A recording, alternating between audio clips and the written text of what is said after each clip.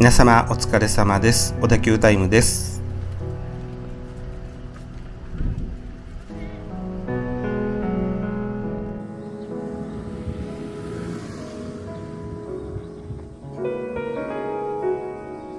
1964年の写真です。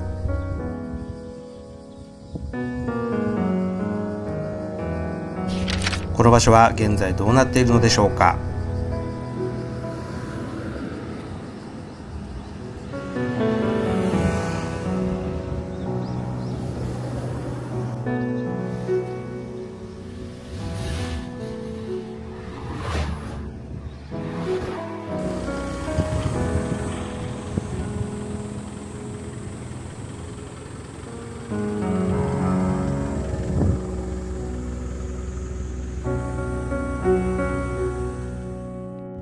近藤勇の聖火跡です。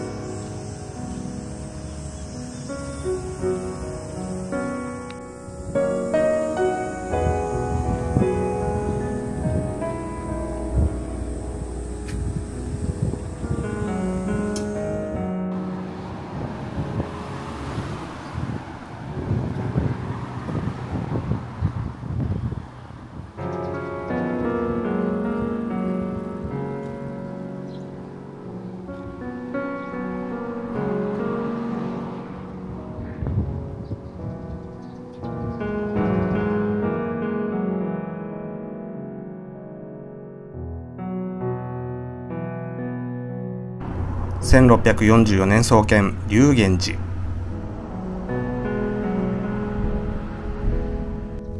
この寺には近藤勇の墓があります。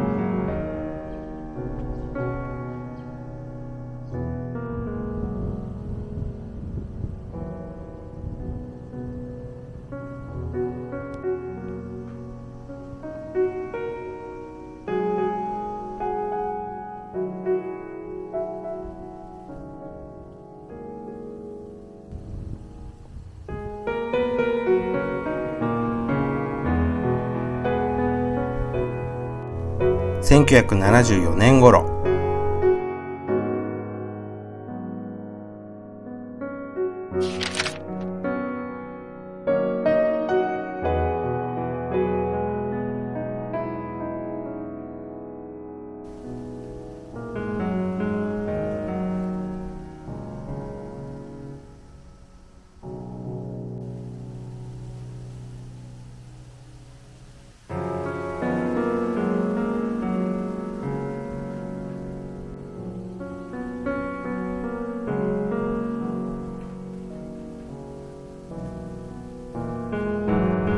墓は東京都の指定文化財になっています。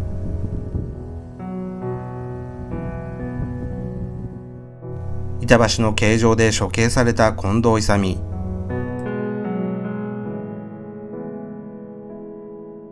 その後板橋に埋葬されました。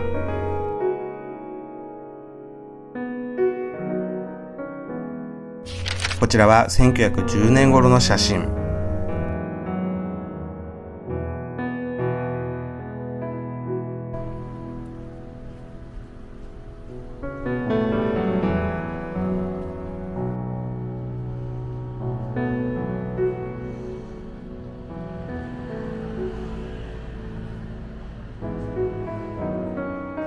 その後、近藤勇の甥が墓を掘り起こし、聖火近くの龍源寺に埋葬しました。